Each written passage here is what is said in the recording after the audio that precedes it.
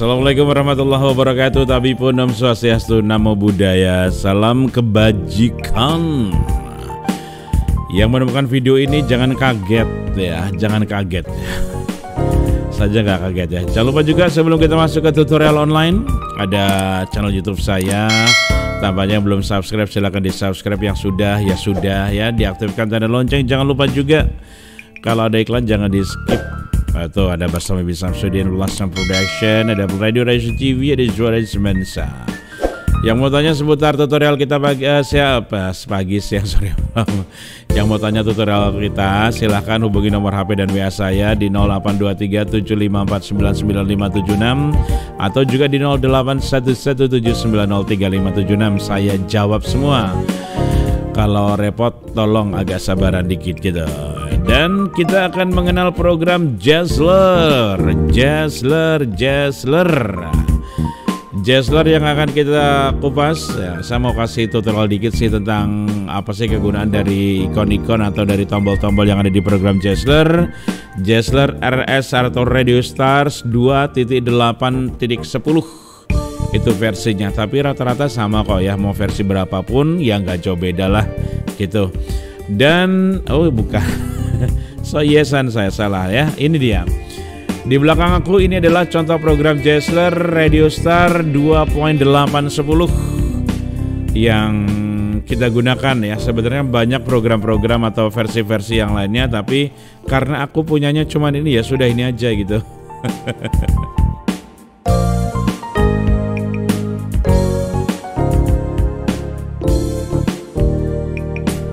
Lupa belum menaikkan mikrofon. Jadi ini adalah program Jazzle Radio Stars Automatic Program. Kalau aku bilang ini bagus banget untuk radio otomatis. Semuanya serba playlist dan serba diacak. Jadi nggak ketara banget kalau ini adalah based on program.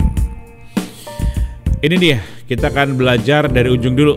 Nah, di bagian sebelah kiri atas itu ada next next ini kalau kita pencet ya kalau kita pencet itu nanti akan lagu uh, lagu yang sedang diputer itu akan ditabrak sama lagu selanjutnya yang berada di nomor satu kalau fade, fade ini berarti lagu yang sedang diputar itu nanti akan lama-lama hilang, hilang, hilang, hilang, hilang, hilang, akhirnya berhenti.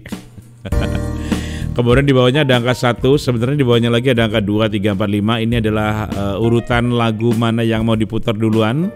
Kalau di angka 1 berarti dia yang akan diputar duluan, kalau angka 2 berarti bawahnya bawahnya dan gitu. Terus juga kalau di tombol satu ini kita klik maka lagu yang ada di atau audio lah yang ada di satu tombol itu akan diputar duluan. Begitu juga kalau lagunya ada di nomor 2, 3, 4. Kalau di nomor 4, 4-nya kita kita klik maka dia langsung keputar gitu ya. Ini ada tulisan uh, sebelah sininya ini ada garis dua. Gimana ya gue nunjukinnya? ada dua garis dua. Ini ada apa ibaratnya itu uh, apa ya? Besar kecilnya suara audio gitu ya. Ini sampingnya ada Warta Steno Botak. Ini adalah nama file dari apa yang sedang kita putar. Ini playlist duration 37 menit. 46 detik. Durasinya 56 detik. Untuk durasi Warta Steno ini posisinya itu ada di 11 detik gitu ya. Kemudian lagi kalau kita lihat di sebelah kanan atas ini ada restart. Jadi kalau kita pencet tombol restart maka lagu yang sedang diputar itu akan diulang dari awal gitu Terus kalau tombol stop neck, maka kalau lagu yang kita putar nanti kalau udah habis dia akan berhenti. Ngantuk bikinnya malam sih ini tutorial. Kemudian kalau ada loop mode, loop mode, loop mode itu kalau lagu yang sedang kita putar nanti dia akan diputar secara berulang-ulang. Biasanya kalau penyiar itu siaran pakai background, maka dia gunakan loop mode. Kalau tombol pause ini untuk menghentikan sementara audio yang sedang diputar ya. Pause. Di bawahnya ada playlist, ada instan, ada direct, direct, direct, direct, direct, direct file. Oh, direct file. ada direct file. Kalau instan ini kayak sejenis tombol langsung diklik langsung bunyi. Kalau di file ini langsung muter file. Meskipun file itu tidak ditarik atau tidak diimport ke dalam Jazzler. Kemudian di di sininya ada uh, lock off. Lock off itu keluar ya kalau kita mau ganti-ganti user. Kalau autopilot nah ini untuk otomatis otomatisasi. Nanti gunanya apakah iklan apa restreaming itu otomatis sesuai dengan jadwal ataukah playlist akan diputar otomatis atau diputar tidak otomatis. Kemudian kalau di sini ada duras ini jam ya, jam 22 lebih 3 menit. Yang atas ini ini ini jam. Itu sebelah sana itu hari, hari Senin tanggal 1 November 2021. Karena kebetulan tadi aku screenshot ini tanggal 1 November 2021 Hari Kesaktian Pancasila. Kemudian di sini ada tulisan Jesler RS 2.8110 Jesler Radio Stars FM.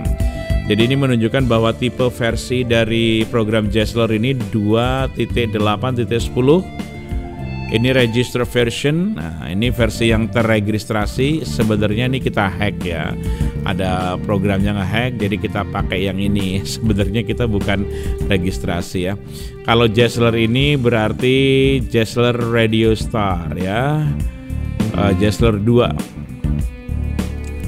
Kemudian lagi tombol-tombol yang lain di sini ada tadi udah nih ya. Tadi udah kita jelasin. Terus juga ke sini ini juga udah kita jelasin naik ke atas. Nah ini nomor 2 butir-butir Ika Bella nah ini kalau kita klik yang kedua maka langsung diputar. Ini ada untuk monitor. Jadi kalau kita klik di nomor 2 kita klik monitor maka lagu yang ada di playlist akan didengarkan. Muncul keluar dari audio speaker yang uh, second yang kedua gitu ya di komputer. Jadi kalau kita di komputer ini nih kalau dengan Jazzler bisa kita monitor dulu lagu sebelum kita putar, tapi harus punya dua soundcard. Kemudian ini urutan nomor 2, 3, 4 sama ini adalah lagu-lagu atau audio-audio yang bakal diputar. Kalau info ya info tentang lagu yang ada di playlist. Ini ada playlist, ada breaks, ada iklan-iklan kalau kita pengen lihat gitu. Biasa. Di bawahnya ini ada view up. Kalau view up ini kita bisa lihat ke atas, turun. Kalau view down ke bawah. Ya jadi kita tahu lagu yang kedua, 3, 4, 5, 6, 7, 8, 9, 10 itu urutannya apa aja gitu. Kalau view top cuman hanya untuk melihat langsung loncat ke atas sendiri ke playlist nomor apa ke track nomor satu. Kalau view button ada track nomor 12 karena di Jazzler ini kalau nggak salah ada 12 track gitu ya yang sudah siap diputar. Kalau move up, move down ini kita pakai kalau lagunya mau kita naik turunkan gitu ya. Misalnya lagu ini habis ini tak naikin dulu lah. Tapi kita nggak mau ngambil dari dari bank lagu gitu. Bisa pakai move up dan move down. Kemudian juga di sini ada lagi daftar history list. Ini adalah ini ya, ini adalah daftar audio-audio yang diputar dari jam, menit, detiknya sudah ada di situ. Kemudian ada lagi di bawahnya ini adalah next event atau iklan-iklan selanjutnya. Misalnya ini jam 2 lebih 15 ini ada dua spot durasinya 12 lebih uh, eh, 26 ya. Kemudian jam jam 2 lebih 30 menit. Nah, jam 22 lebih 30 itu ada satu spot durasinya itu 10.47 dan lain sebagainya durasinya gitu ya. Terus di sini ada active selection. Kalau di active selection ini dia nunjukin sekarang ini yang lagi aktif itu uh, playlist apa, schedule-nya di mana. Ini auto program scheduler, namanya Dangdut Koplo, full song available song, Warta Steno position 2. Nah, ini ini contohnya dan di bawahnya ada possible problems. Jadi kalau ada problems, ada masalah, Jazzler itu bakal ngasih tahu ke kita apa yang dia tidak bisa diputar, ada di sini dan lain sebagainya. Kemudian di bagian sebelah sini ada autopilot. Ini udah tahu kalau untuk bikin kita otomatis ya. Ada live assistant, ini nggak begitu penting nggak kita pakai di rack file yang paling atas ini. Ini kalau kita mau muter lagu tapi tanpa diimport dulu ke Jazzler bisa lewat situ. Next, ini ada rebroadcast. Kalau misalnya kita mau mendengarkan atau menyiarkan kembali streaming yang ada di dalam program Jazzler kita klik aja maka semua playlist tidak bisa diputar semuanya kita relay lanjut Di bawahnya ini ada beberapa keterangan yang sebenarnya nggak begitu penting. Ada power sweeper, ada special sweeper. Kalau kita mau ngeklik ngeklik aja sih. Terus juga di sini ada apa nih? Um, ya begitulah, kayaknya nggak begitu penting dari Jazzler yang ada di sini ya. Bagaimana cukup jelas? Kayaknya gak jelas sih karena aku ngejelasinnya juga sambil lari-lari gitu. Tapi kalau mau tanya-tanya seputar program Jazzler silahkan dihubungi nomor HP dan WA saya Insya Allah 24 jam gak usah malu-malu gak usah ragu. Tapi syaratnya di subscribe dulu dan diaktifkan tanda lonceng channel YouTube saya. Empat-empatnya jangan cuma satu, dua atau tiga. Ya sudah, tutorial kita mengenai materi kita yaitu Jazzler Radio Star versi RS 2.810 sampai di sini dulu. Nanti doakan saya bisa bikin uh, video-video untuk uh, program Jazzler selanjutnya. Saya pamit, terima kasih.